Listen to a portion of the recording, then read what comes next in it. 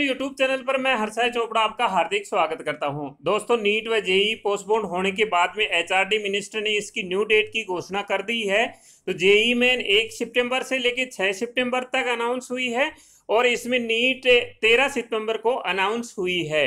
तो ये हमने पहले ही बता दिया था कि नीट व जेई पोस्टपोन्ड होगी तो ये पोस्टपोन्ड भी हो चुकी है और नई डेट भी अनाउंस हो चुकी है।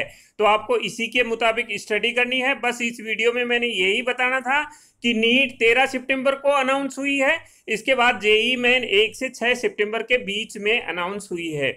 अगर कोई इसके बारे में और अपडेट मिलेगी, हम आपको इन्फॉर्म करेंगे। तब तक के लिए जय हिंद।